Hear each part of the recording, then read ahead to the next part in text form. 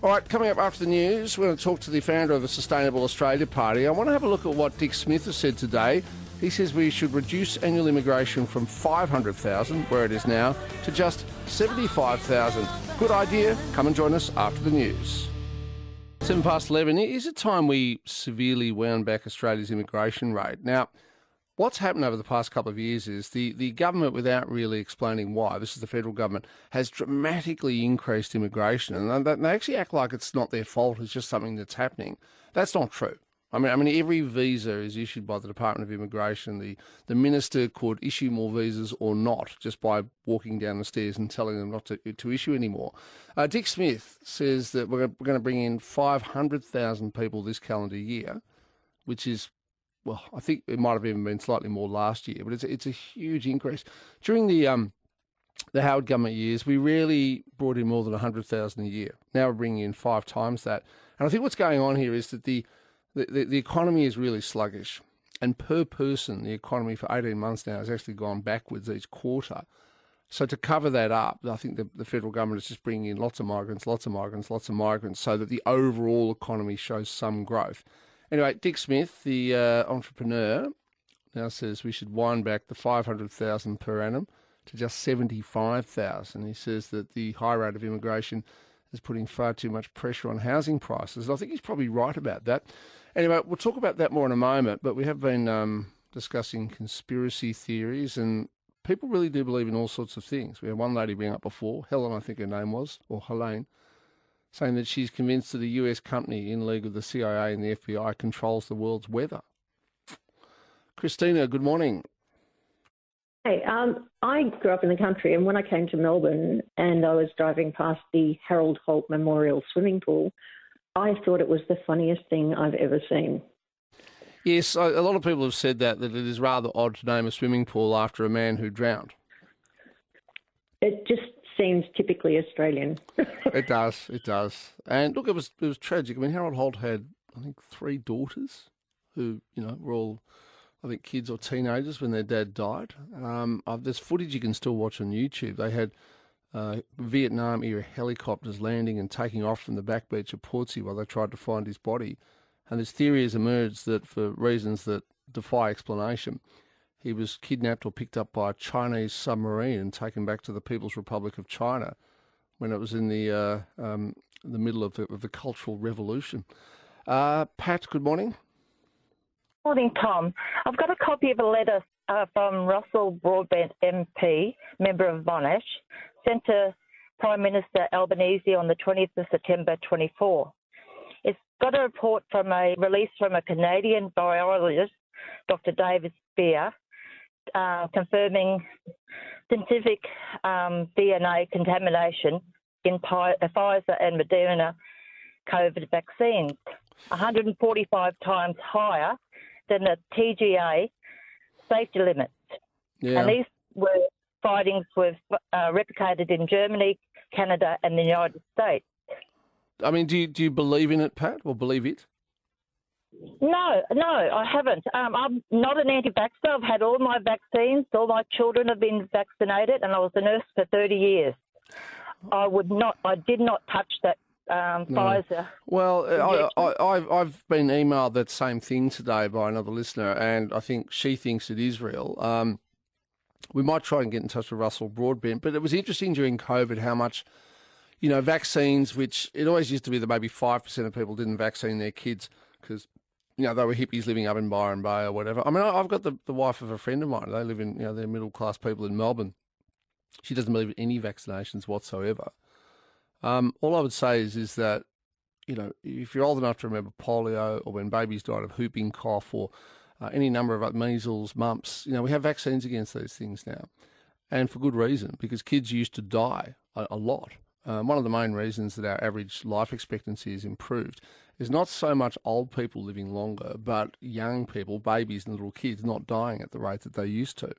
And a lot of that is because of vaccines. But there was something about the, I think with COVID, part of the problem was we all had too much time. We were angry at the government. We wanted to understand, you know, who was responsible for this terrible disease and what could be done about it.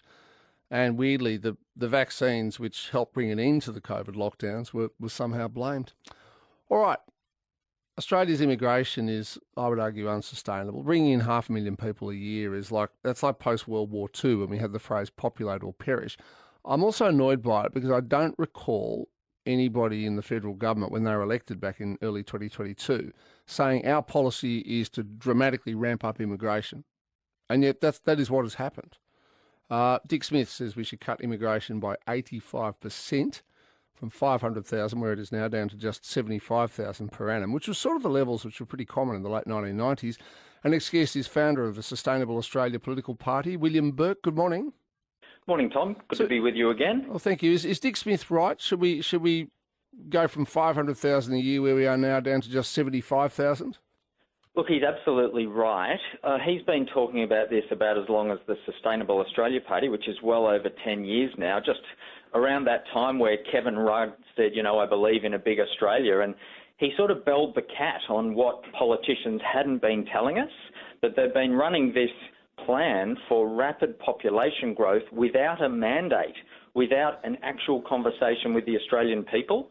And mm. Dick Smith is calling for a plan, but an, a plan that's actually communicated to the Australian people that this is where we're headed, this is what we want, and we actually get a say on it. Well, well I agree. See, I, I don't have a problem. If, if you're a politician and you go to the public and say, if we're elected, you know, we'll ramp up immigration to a million a year, and they get elected, and everybody knows that, we say, all right, well, that, that's how politics works. But I don't recall, you know, Anthony Albanese or Jim Chalmers or Tony Burke or any of the other senior Labor people telling us in 2022 that they were going to ramp up immigration to between five and 600,000 people per annum. Well, exactly, Tom. And what actually Anthony Albanese said was that he doesn't want immigration to go back to the pre COVID levels. He actually said he wants to lower immigration before being elected as Prime Minister. And so then after that, he ramped it up to the the highest ever level. So that is a complete backflip, mm. and hmm. frankly, it's dishonest. Do, do, do, you think they did it because they knew the economy was slowing down and this was a way of just trying to keep economic growth, albeit at a low level, but keep it positive? Exactly, Tom. So we've been in a deep per capita recession for over five quarters now, where uh, per capita GDP has been falling, but they're papering over the cracks, pretending that we don't have a recession with this rapid population growth, and I think they're scared. It's almost like uh, the hot potato from Liberal to Labor. With, with rapid population growth, they can avoid the aggregate recession, mm. and so therefore they don't get that sort of stain on their reputation of Jim Chalmers and Albo going to an election. But we have lower living standards, we have per capita recession, so we've sort of got a bigger cake but a thinner slice. Yeah, it's a good way of looking at it. I, I read a fascinating report from uh, an American columnist recently. Well, it was they'd done research, sorry, and they looked at housing policies and population around the world. And they concluded that it's not tax laws that push up housing prices, it's not even bank lending. They said it's a very simple function. If you're a country whose population is increasing rapidly, and at the same time you have town planning laws which start restricting the ease with which you can build houses, yeah. that will push up house prices. And they pointed to Australia as a perfect example of that. You know, post war, we built lots of houses. We had no problems opening up new suburbs. We just did it. That was just the thing to do. And now we don't. So we've got the high population growth, but there are not many houses being built. And this report concluded that was the main reason house prices have got so expensive. Yeah, well, two things there, Tom. I've just finished a term as councillor and deputy mayor in local government, and we were being smashed by overdevelopment without infrastructure, and I was pushing back against that. But yes, the main problem is rapid population growth, and the government forcing local councils to take a lot of density without that. And it's a simple law of supply and demand. If you ramp up demand and limit supply, you are obviously going to push up prices. Now, I've always said that population is not the only thing, but it's probably the main thing driving up the prices. So there's also foreign investment. There's also you know tax concessions that mm. do uh, that do support um, property speculation. So we need to take a holistic approach of, at you know on this issue, not just stabilise population, but that must be central to any sustainable plan for housing affordability. Now, now, final question. Again, this is another thing I've never understood why politicians don't, you know, run, particularly federal politicians, run to the election with a, a population target. You know, we think Australia should have 30 million people in 10 years, or we think our population should be capped at this level. Like we, we always talk about the annual rate of immigration. We never talk about like what is the ideal population for Australia. Do you have a, a number that you, you would like to share with us? Look, absolutely. If we cap migration, permanent migration every year at about 70,000, which was the average in the 20th century, which worked so well for Australia, we would taper off at about or under 30 million people. Instead of that, we're headed for 40 million by 2050 and 100 million this century. So yeah. I would say that's a much better target. And the way to do that, I think, Tom, is through a population plebiscite, like we had for same sex yep. marriage, like yep. we had for the voice. Give the people a choice on this issue. And if the Australian people decide we want to double and triple our population in the driest inhabited continent on Earth, you know, you have to live with that, but let's have a choice. Yeah, I think it's a really good idea. Thank you, William. William Bourke there, founder of the Sustainable Australia Political Party. I remember prior to the uh, Republic referendum, which is 25 years ago now, there was a, the, the, the AEC, I think it was, put out a really good sort of broadsheet page, something, uh, you know, summarising the pros and the cons of Australia becoming a republic. And, and it encapsulated most of the arguments that what is good and what is bad about a republic quite well. And I reckon you could do the same thing with population. You could you'd have a referendum say, look, do you want ticker box? Keep the population where it is, increase it between 30 to 40 mil or 50 to 75 or 75 to 100, something like that. And then you would almost like take the average of everybody's response. That's our population target. And then the good thing about that is if you've got the population target and it's supported by the majority or the will of the Australian people, you can actually start planning and say, all right, well, the people want to have 50 million Australians. What do we have to do? Do we build new railway lines? Do we open up another city? Do we force people to move to underpopulated areas like Adelaide? I don't, I don't know, but I'd, I'd like to start with a plan.